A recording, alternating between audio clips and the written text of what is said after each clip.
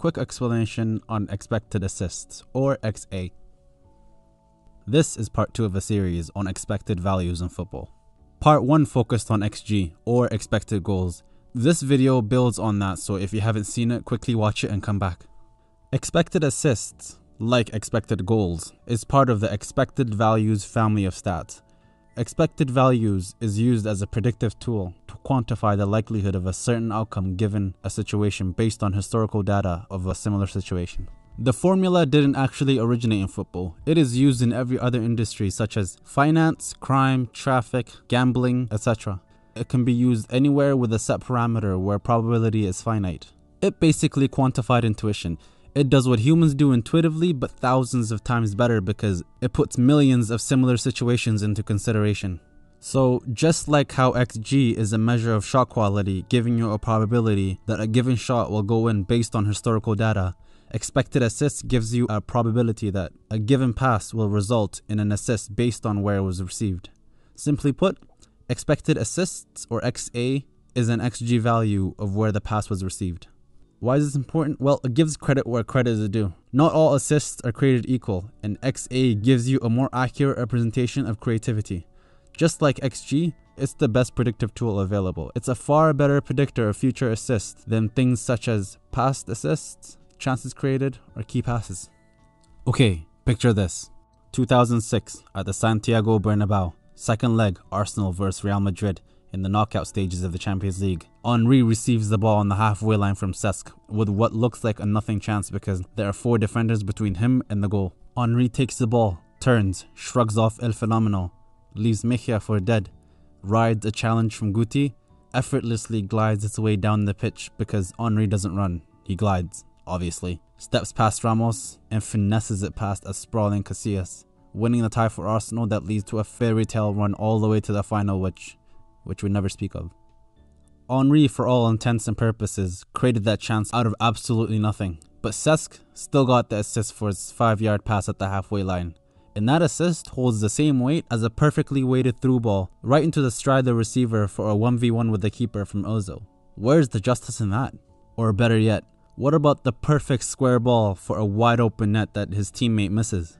That hardly seems fair to Ozil, who's had to play with Sir Olivier Giroud, who do that on a regular basis. Compare that to someone like David Silva, who's had Aguero to create for all his career. As you can see, assists are a terrible measurement of judging creativity. They're at best a vague representation of it. Stats like chances created and clear cut chances are a far more accurate measure of creativity, but they both have massive downsides. Chances created stats count as a chance only if a pass resulted in a shot apart from not giving you a value of those shots, they have a massive problem because they only count if that pass results in a shot. That's not much of a measure of creativity, that's a measure of final ball ability, which is its own thing. Creativity is far more than the final ball. Let's say Messi after a diagonal dribble makes the perfect through ball to Jordi Alba, setting him 1v1 with the keeper. If Jordi Alba then decides to square it to Suarez rather than shoot, Messi neither gets the assist nor the chance created. What expected assist does is that it takes all of that into consideration. So, how does it do that?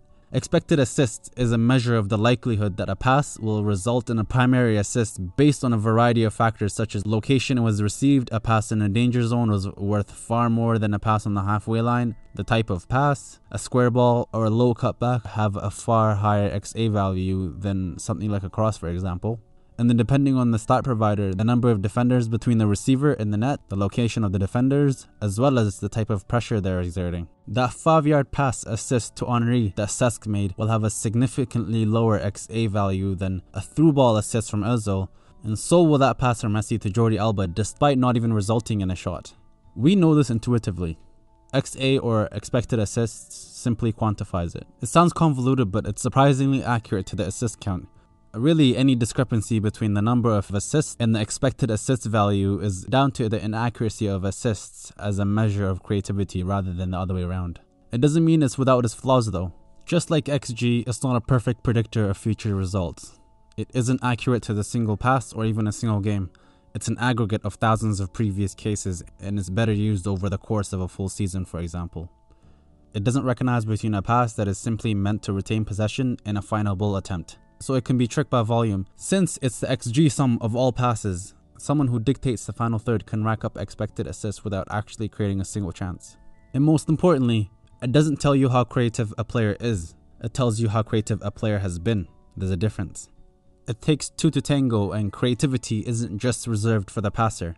Players can create chances with their movement as well. They're codependent, and the limitation of one can severely affect the other. Let's go back to the Ozil Giroud situation, for example.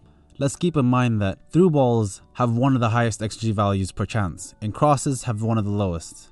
The problem with Giroud is he only wants the ball to feet and simply refuses to make runs into space for a through ball. When he doesn't want the ball to feet, he wants the ball in the air as a header from crosses, which, like I said, have the lowest XG value per chance. And that severely limits Ozil as the creator. He can't make the highest XA value pass because it will be to no one, and he's forced into only creating the lowest XA value chances. And then listen, listen, listen. And then Giroud had the nerve to turn around and try to fire a shot at Ozil after going 16 games without a goal and single-handedly costing Arsenal the title by saying, I need assists to score goals. The absolute nerve of him.